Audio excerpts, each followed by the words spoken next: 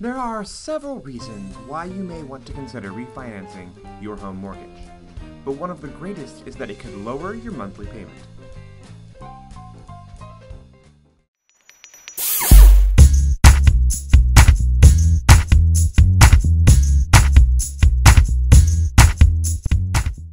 When considering refinancing, it is important to know what your current interest rate is and what the interest rates are now. A lower interest rate can save you money every month. Depending on the size of your loan, even the smallest change in rate could save you big.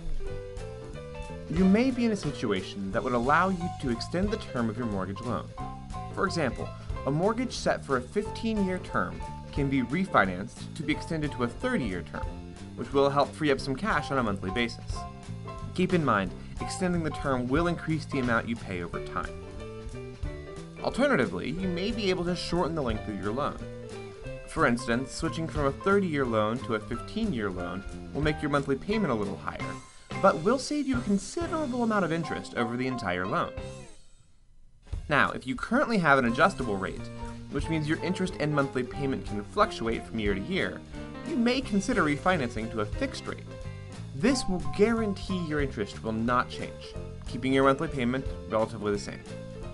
Refinancing your home does not always have to be for the benefit of changing the terms of your loan.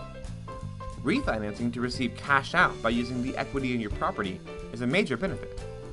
With enough equity in your home, you can take out cash to be used for unexpected expenses, such as medical bills, or expected expenses such as college, a wedding, or consolidating debt. You can even use the money to increase the value of your home with updates and improvements.